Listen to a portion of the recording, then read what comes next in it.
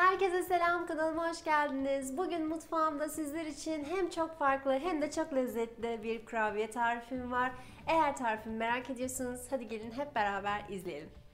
Kurabiyemiz için hemen hamurumuzu hazırlayalım arkadaşlar. Şöyle 200 gram kadar tereyağım var. Tereyağımın üzerine bir çay, e, yarım çay bardağı kadar sıvı yağ ekliyorum.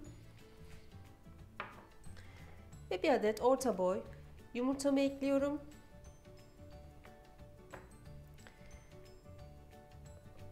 İki çay bardağı kadar pudra şekeri ekliyorum. Öncelikle bu malzemelerimi güzelce birbirine iyice karıştırıyorum.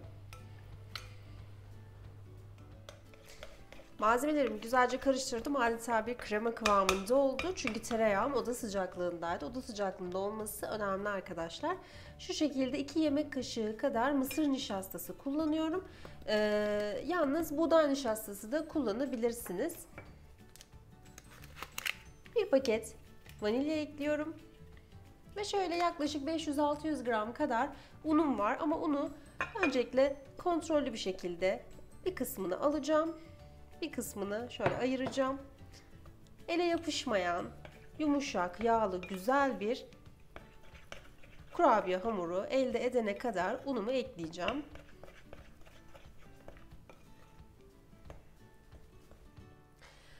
Hamurumuz ele yapışmayan çok güzel bir kıvama geldi arkadaşlar ve ben şimdi hamurumun yarısını şöyle ayıracağım. Çünkü e, bir kısmını sade bir kısmı da kakaolu bir hamur olacak.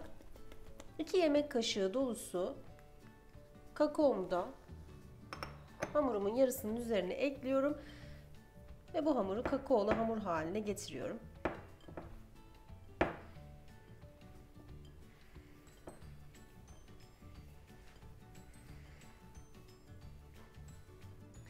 İki adet bu şekilde Hamurumuzu oluşturduk. Şimdi bu sade olanı üzerine bir daha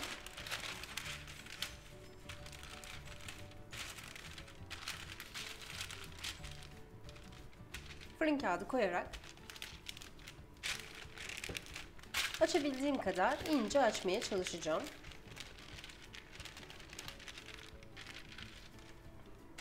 Evet sade olan hamurumu bu şekilde açtım ve hala fırın kağıdının üzerinde duruyor. Onu şöyle bir kenara alıyorum. Fırın kağıdının üzerinde e, açtığımız zaman transfer etmemiz çok daha kolay oluyor. Ve kakaolu olan hamurumu da arkadaşlar üzerine yine fırın kağıdı örterek açacağım. Bunu da yine inceltiyorum. Aynı şekilde aynı ölçülerde. Kesinlikle görüntüsü, lezzeti harika bir kurabiye oluyor ya da pasta. İnanılmaz lezzetli. Tam olarak bir bomba diyebiliriz. Daha önce böyle bir tarif yapılmış mıydı bilmiyorum ama belki bir benzerleri yapılmıştı. Ama ben bu tarifi bulduğumdan beri kesinlikle sürekli yapıyorum. Çünkü herkes tarafından hem çok denendi hem de çok beğeniliyor. Tavsiye ediyorum size de. Ve arkadaşlar çikolatalı hamurumun üzerine şöyle fıstık ezmem var. Fındık ezmem affedersiniz ama fıstık ezmesi de e, çok yakışabilir.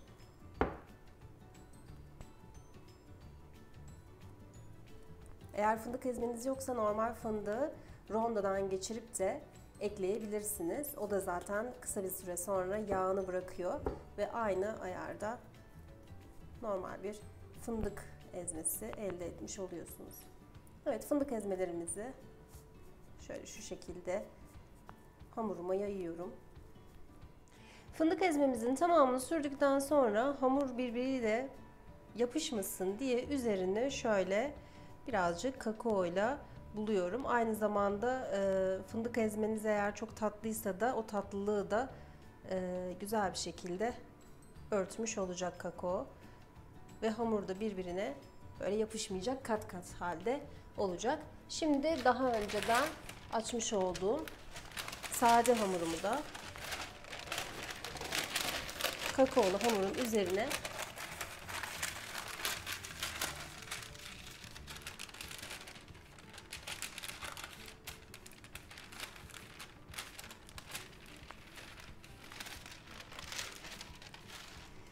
getiriyorum.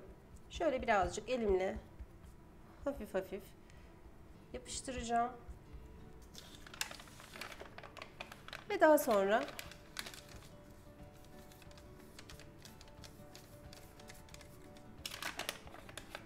hamurumu rulolamaya başlayacağım.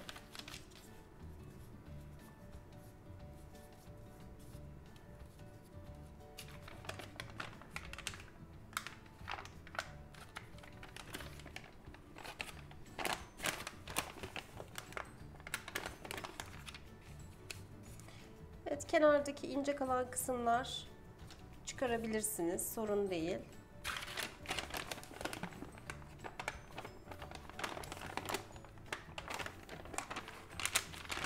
Rulo şekline getirmiş olduğum kurabiyemi şöyle kenarlardan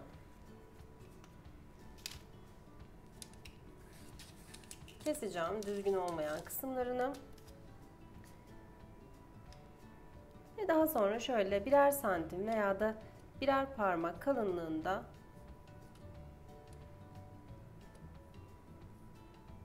kurabiyelerimi parçalamamaya dikkat ederek kesiyorum. Fırınımı önceden ısıtmıştım arkadaşlar. 175 derecede alt üst ayar fırınımda yaklaşık 15-20 dakika kadar pişiriyorum. Böyle hafif, yumuşak, kek gibi bir kurabiye olacak. Çok böyle takır tukur bir kurabiye olmayacak. Şu anda bile görüntüsü nefis.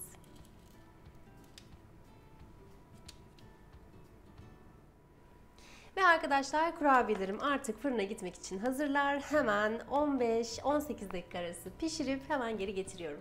Evet arkadaşlar fındık ezmeli rulo kurabiyelerimiz hazır. Gerçekten mis gibi kokuyorlar şu anda.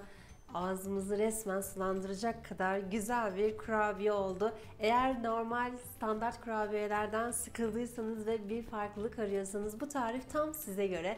Evet bugünkü tarifim bu şekildeydi. Eğer tarifimi beğendiyseniz videomu beğenmeyi ve kanalıma abone olmayı unutmayın. Hepinize sağlıklı, mutlu, güzel günler diliyorum. Hoşçakalın.